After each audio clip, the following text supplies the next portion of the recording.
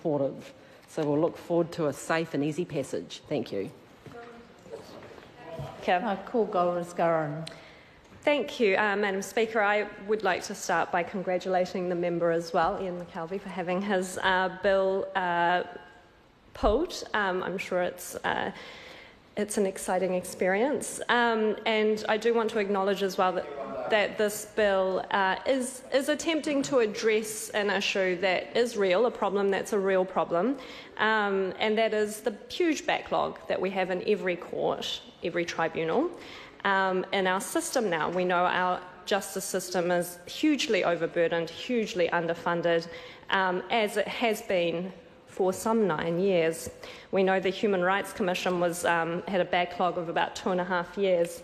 We know we're having to fix the family court system because of the delays there in the criminal justice system. I know from first hand experiences so overburdened um, as to have serious criminal cases waiting some 18 months to two years to go to trial. So, getting some some of, some of the less serious cases out of that backlog, um, I could see as, as, as a, will be a real relief.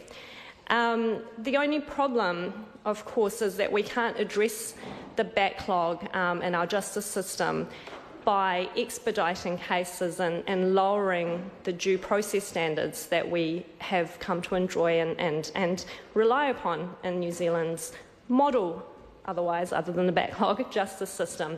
Um, this can't be um, the answer, the lowering of that due process standard. And I can see why these types of offences, the type of offences that come under this bill, are seen as being so minor as, as to be able to be dealt with in a um, in an expedited way and by non legally trained um, judicial officers. But in this case, and if you do look closely, um, we can see that the breadth of, of the offences that come under the bill actually do touch on some serious um, repercussions um, if, if guilt is, is found, and if guilt is found in, in a process that's not fair, um, if the judicial officer involved isn't trained in things like the Bill of Rights Act and evidence um, standards and, and other um, procedures that, that we that we use to safeguard um, the presumption of innocence, then, then those repercussions become very unfair.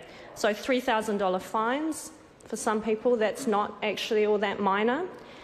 And of course, for the animals involved, we're talking about a capital offence here because the dogs involved are put down. So, to anyone who has had a pet, that is, that is one of the most serious things that could potentially happen in your life.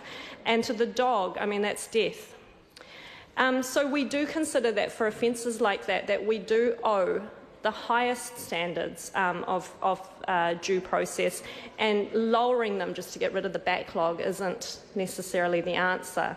Um, JPs are, of course, not necessarily legally trained, so they don't kind of have have um, a, a, higher understanding, as judges would in the district court, where these offences are coming out of um, in terms of due process, and community magistrates who, who do have a higher level of training. There's only 14 of them nationwide. So it's not really them that we're relying on, it is really JPs.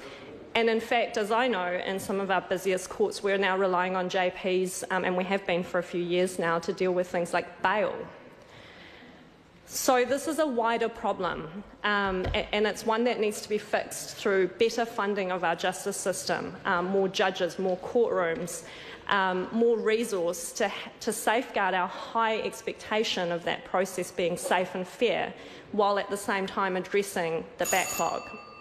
Um, so, while we in the Green Party do respect the, the problem that this bill um, seeks to address is very real, um, we don't we don't support the mechanism by which it seeks to address that problem, which is a lowering of due process standards um, in circumstances where the repercussions are very serious, um, both for the dogs involved, and, and, that is an animal rights issue, and also for the owners.